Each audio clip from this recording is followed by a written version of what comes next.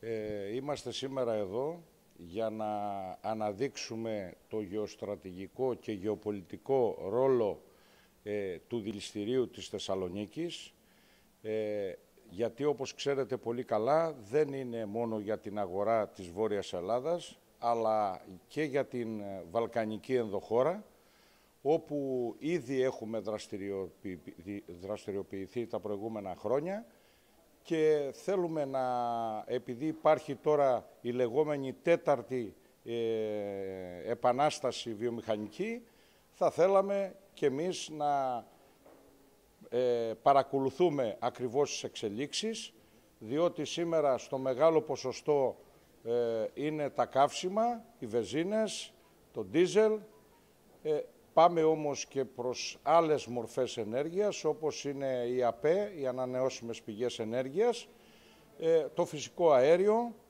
η ηλεκτροπαραγωγή και θέλουμε λοιπόν να αναπτυχθεί και να επενδυθεί το δελιστήριο της Θεσσαλονίκης προκειμένου να παρακολουθεί και τις εξελίξεις. Πάντα διαχρονικά γινόταν αυτό.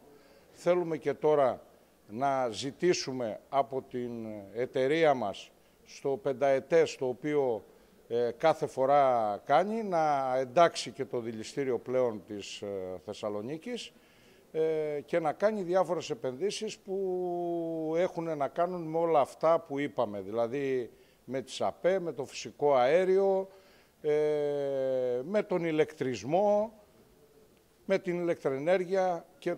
Πόσοι εργαζόμενοι απασχολούνται εδώ στο δηληστήριο. Εδώ είμαστε γύρω στους 650 εργαζόμενους. 650.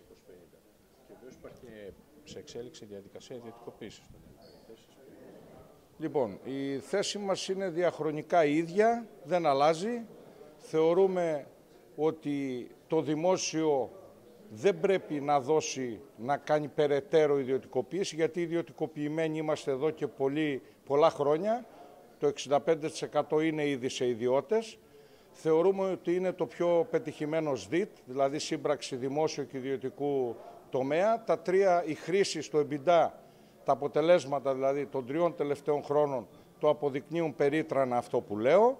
Ήδη η δανειακή μόχλευση είναι κάτω από 30, ή γύρω στο 35%, άρα λοιπόν είμαστε μια υγιής εταιρεία ε, που βγάζει υπερκέρδη και θεωρούμε ότι πρέπει να μείνει ο παρεμβατικός ρόλος του δημοσίου και βέβαια γι' αυτό έχουμε κάνει ενέργειες και με την προηγούμενη κυβέρνηση που ακυρώσαμε στην πράξη το διαγωνισμό, αλλά και τώρα έχουμε κάνει μια σειρά από ενέργειες, οι οποίες είναι να πάμε να επισκεφτούμε τα κόμματα.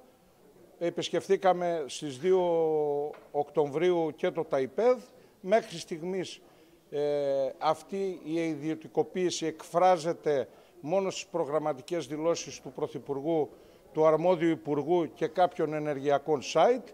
Το ΤΑΙΠΕΔ μας είπε ότι δεν έχει πάρει καμία εντολή για το τι θα γίνει και αναμένουμε να δούμε σε ποια κατεύθυνση θα κινηθούμε κι εμείς ανάλογα με τις αποφάσεις που θα πάρουν. Πάντως να ξέρετε ότι έχουμε ένα δεδομένο ότι ο Όμιλος Λάτσι δεν πρόκειται να πουλήσει. Άρα λοιπόν υπάρχει ένα θέμα που γεννάται μετά το ποιος θα βρεθεί ας πούμε και πού θα βρεθεί να πουλήσει ε, το δημόσιο και ποιος είναι αυτός ο οποίος θα πάρει το 35% που να μην έχει λόγο στο management. Είτε ντόπιος είναι είτε ξένος.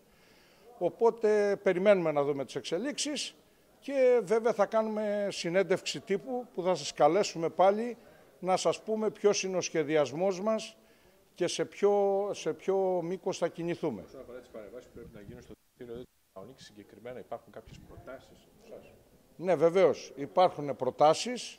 Υπάρχει, όπως ξέρετε, ε, ο αγωγός ε, Θεσσαλονίκης Σκοπίων, ο οποίος παλιά ήταν για αργό, τώρα έχει καθαριστεί και έχει μετατραπεί, μπορεί να λειτουργήσει ως αγωγός προϊόντων, που ξέρετε πολύ καλά με αυτόν τον τρόπο ε, μειώνεται κατά πολύ το κόστος μεταφοράς και μας κάνει πιο ανταγωνιστικούς στην αγορά το, της Βαλκανικής γενικότερα.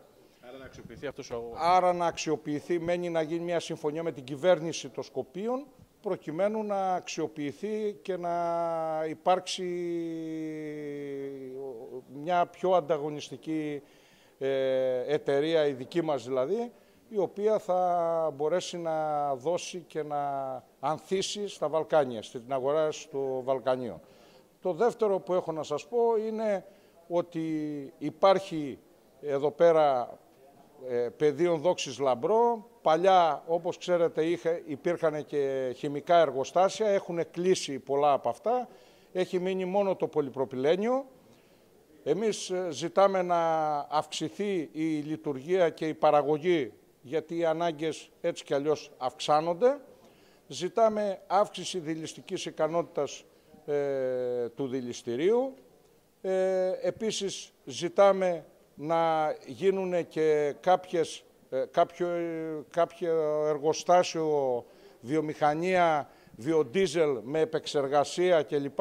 Γιατί όπως ξέρετε και το βιοντίζελ έχει μπει εντός των προδιαγραφών και πρέπει να, να δούμε και αυτό το τομέα και βέβαια να υπάρξει και μία αντίστοιχη μονάδα ε, επεξεργασία, κλειστή μονάδα επεξεργασίας των υγρών αποβλήτων για να πάμε και σε μια περιβαντολογική έτσι, ε, πλευρά και ε, έτσι διεύθυνση, να το πω κατεύθυνση, ε, ώστε να μην ζητάμε μόνο ε, επενδύσεις, αλλά να προσέχουμε και το περιβάλλον, γιατί τα σήματα που μας έρχονται από την κλιματική αλλαγή είναι τέτοια που πρέπει όλοι μας να συμμορφωθούμε, όλες οι βιομηχανίες ε, και κυρίως να γίνει αυτό και στην πλευρά προς τις εταιρείες της Βαλκανικής.